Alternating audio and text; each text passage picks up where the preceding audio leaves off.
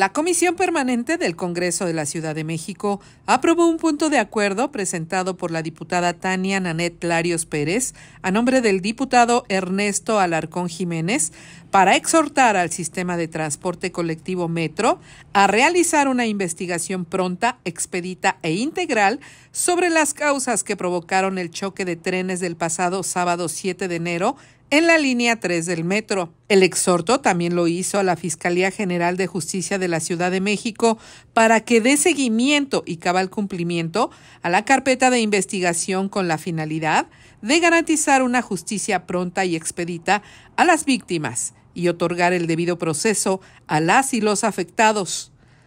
El punto de acuerdo fue aprobado por unanimidad de todos los grupos parlamentarios. Noticias. Congreso de la Ciudad.